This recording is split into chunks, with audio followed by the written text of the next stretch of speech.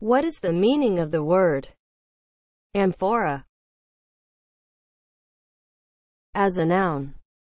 An ancient jar with two handles and a narrow neck, used to hold oil or wine. Amphora is spelled A M P H O R A. Amphora